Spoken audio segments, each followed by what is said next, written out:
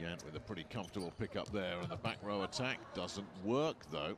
Javad is there. Ooh, so too. There's Esfandiar, bit of a different look to uh, Iran since he's been on the floor.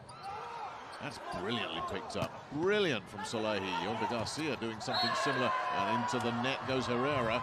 And within touching distance here. Another mix-up. Garcia does it nicely. Yant missing.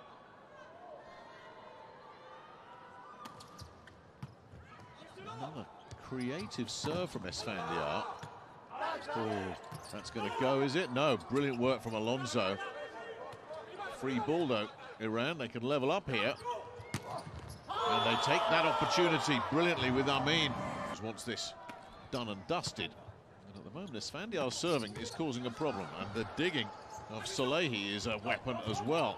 They're all over the place again here. Gelve gets a freebie and Cuba have just gone right off the boil.